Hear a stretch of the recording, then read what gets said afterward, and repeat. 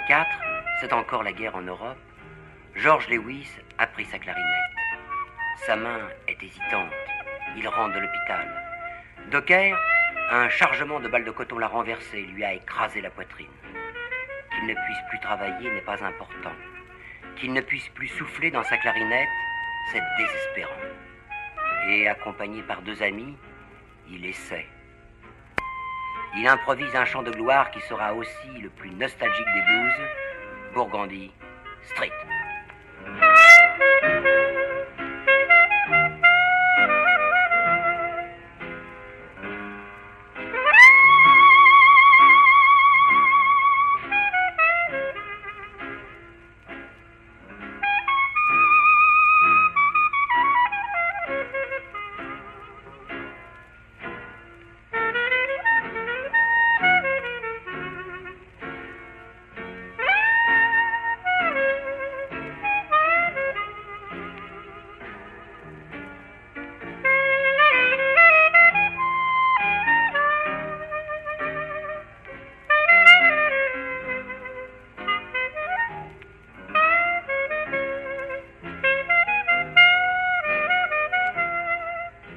Lewis, roi du jazz de la Nouvelle-Orléans, est mort l'année où l'homme a posé le pied sur la Lune.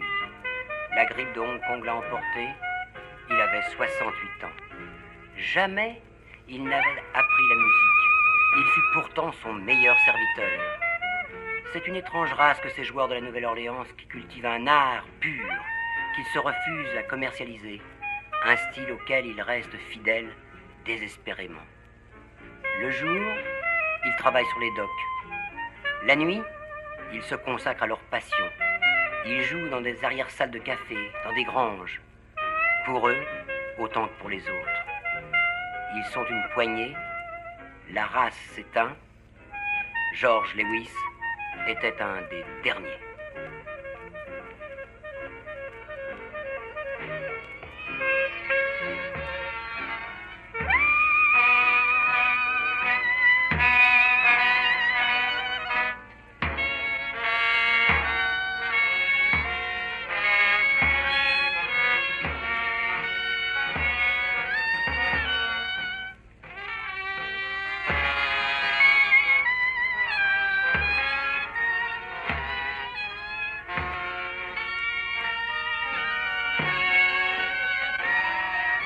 J'ai vécu sa dernière journée.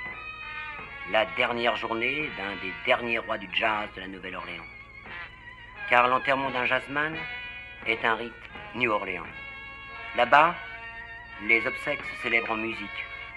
Une tradition qui remonte au début du siècle dernier, à l'époque de la colonisation française, où le seul droit accordé aux Noirs était de les enterrer en musique. Mais l'enterrement d'un jazzman est un événement.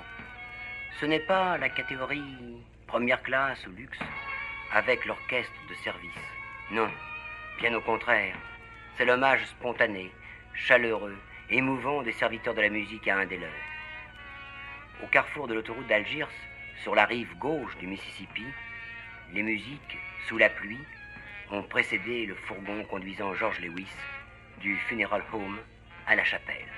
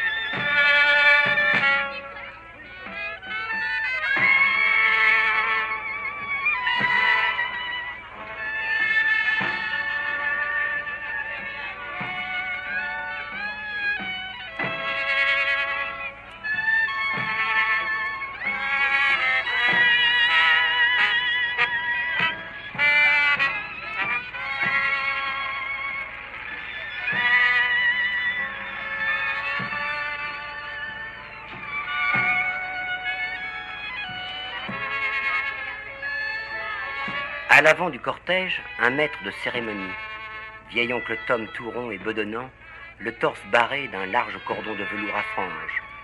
Fats, c'est son nom, est le grand marshal de l'Union, le syndicat des musiciens. Il joue du tambour depuis sa naissance.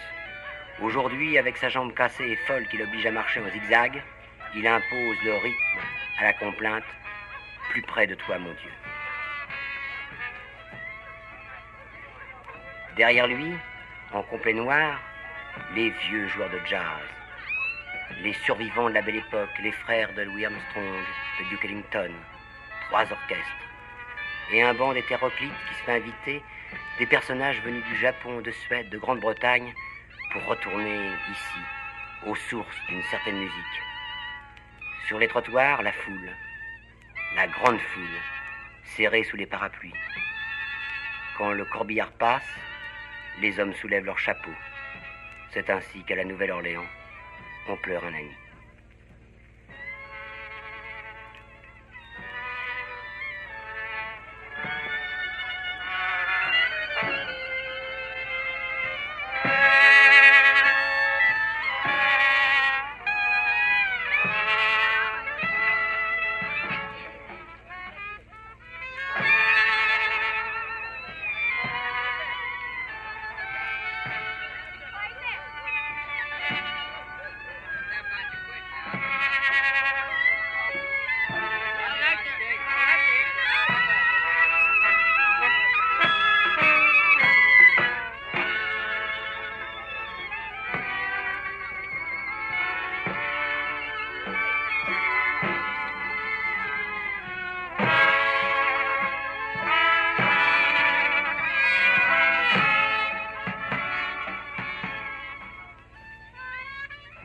Devant une petite bâtisse de bois peinte en blanc, l'église baptiste de la branche des Oliviers, les vieux amis se sont agglutinés.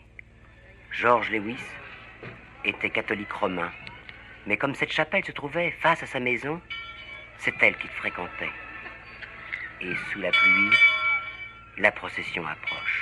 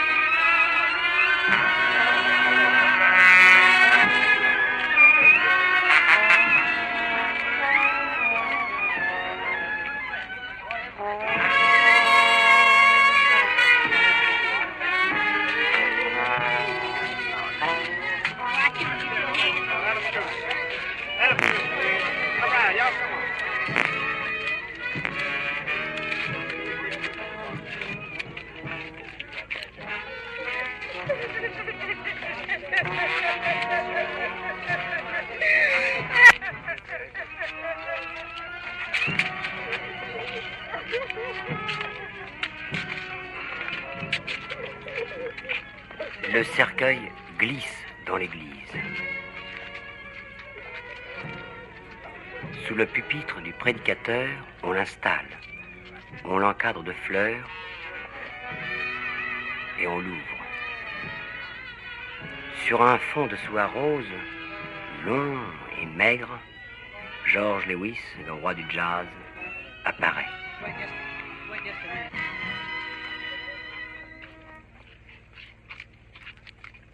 Ses mains ne sont déjà plus les siennes.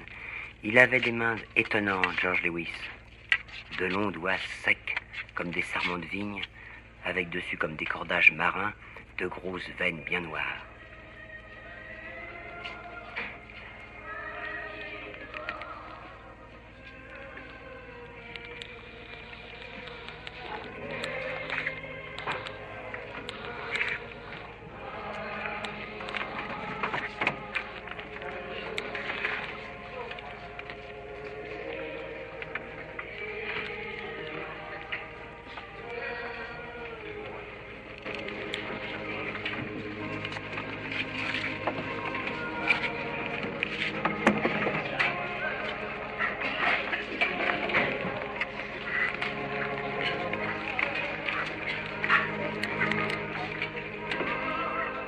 Dans l'église s'agitent les infirmières de Dieu, les employés des pompes funèbres, des femmes noires, à la rondeur imposante, toutes vêtues de blanc comme si elles sortaient d'une laiterie.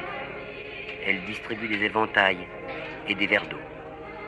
Au premier rang, à gauche, il y a la famille. Shirley, la fille de Georges et ses petits-fils.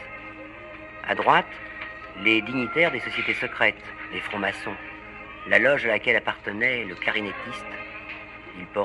L'écharpe, la truelle et l'équerre. Le pasteur, le révérend Samuel Henson, s'apprête à monter en chair.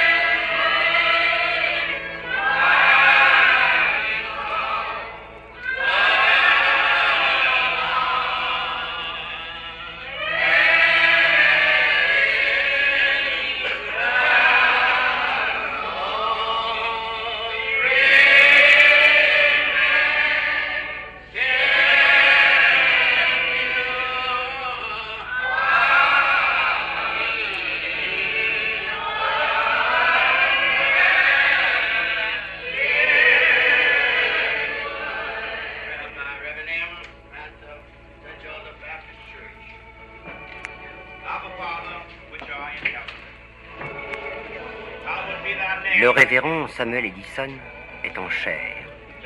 Il paraphrase l'évangile à sa façon. Il dit Dieu vient de recevoir Georges. Il l'a accueilli. Je t'attendais, car tu es un bon. Et Georges lui a dit Oui, tu le sais, j'ai beaucoup travaillé. J'ai aimé les miens, ma femme, mes enfants. J'ai aimé aussi la musique. Oui, Je l'ai aimé autant que ma femme et que mes enfants. Et Dieu lui a répondu, Je le sais, tu es un fils honnête, la porte du ciel t'est grande ouverte.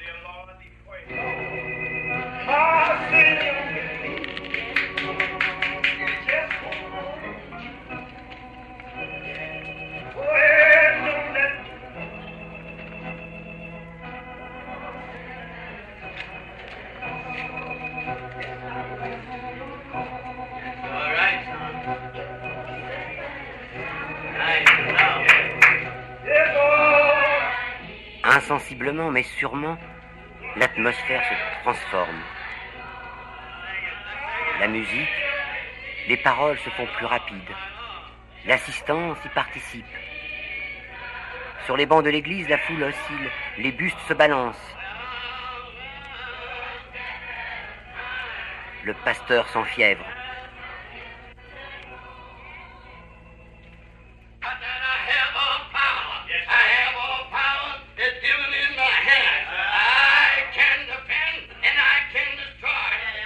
Un sermon, mais une sorte de discours syncopé. Il vante les qualités de George Lewis. Il louange le mort. Il dit à une flûte à 25 cents et il a appris. Et il était le meilleur de nous.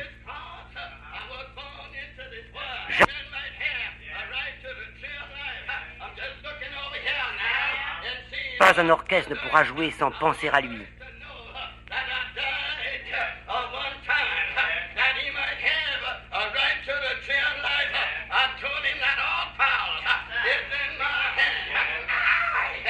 George Lewis, il sera toujours avec nous.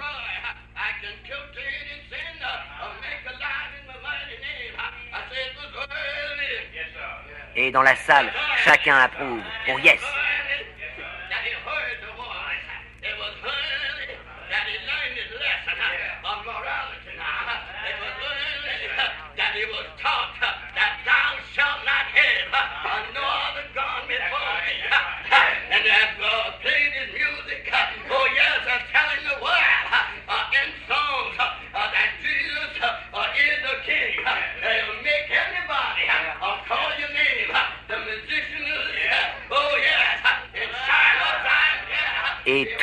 sont ravis de pouvoir être agréables, de pouvoir chanter les mérites de leurs compagnons perdus.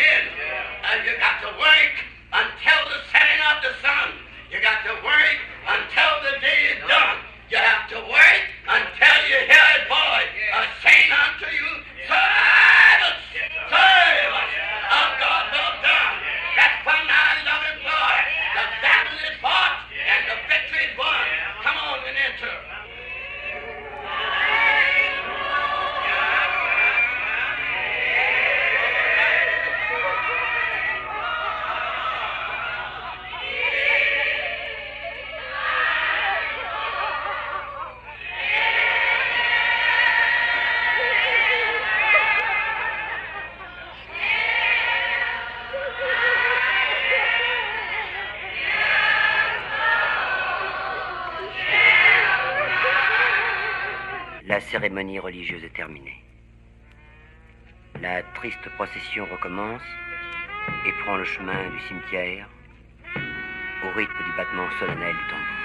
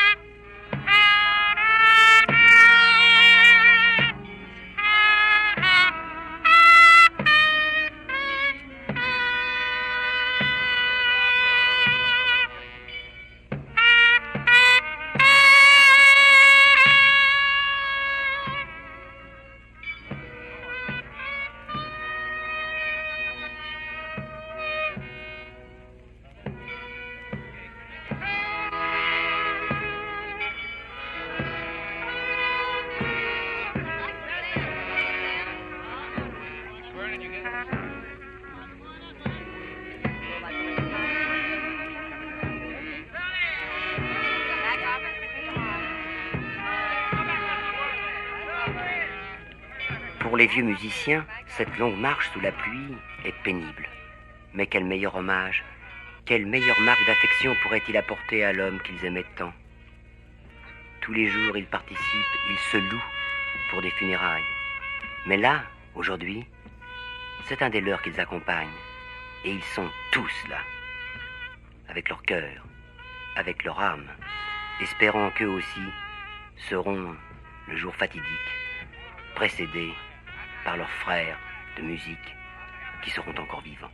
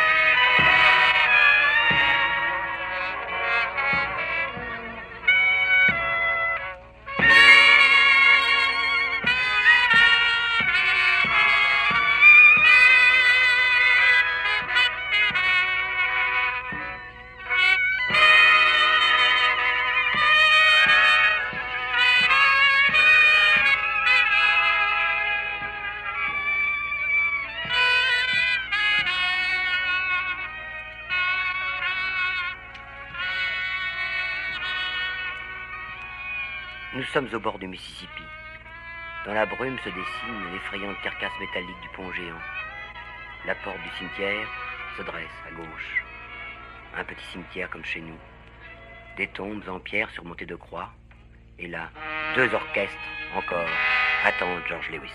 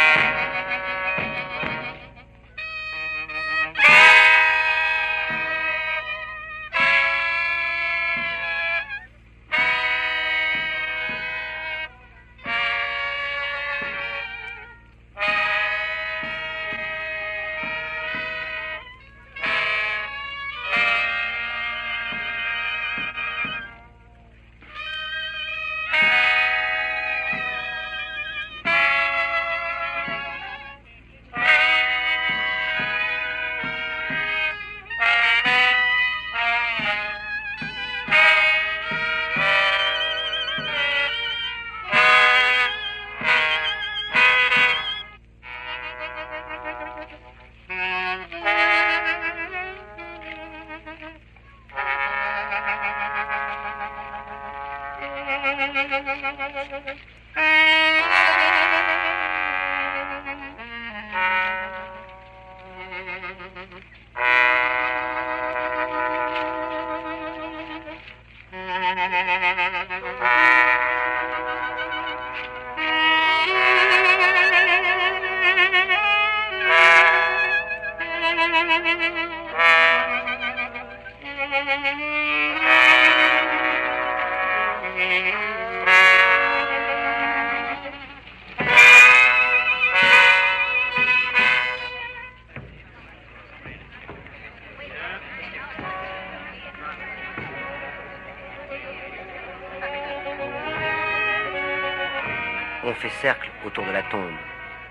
Pluie a abrégé la prière du pasteur et les membres des sociétés secrètes n'ont dit que quelques mots. Mais là encore, c'est l'orchestre qui pleure avec le ciel.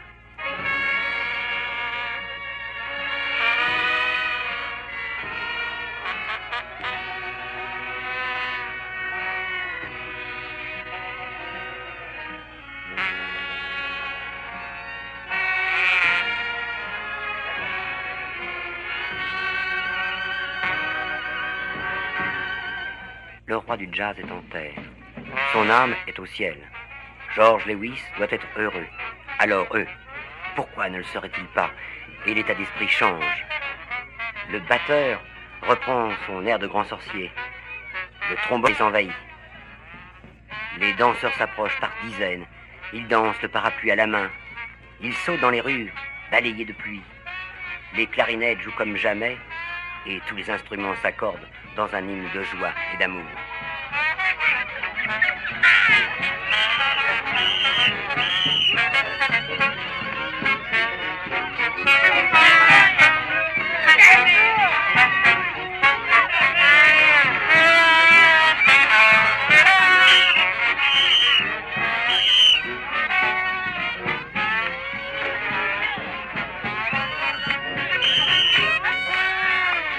Ainsi, dans la joie, l'allégresse, que se termine la dernière journée d'un des derniers rois du jazz de la Nouvelle-Orléans.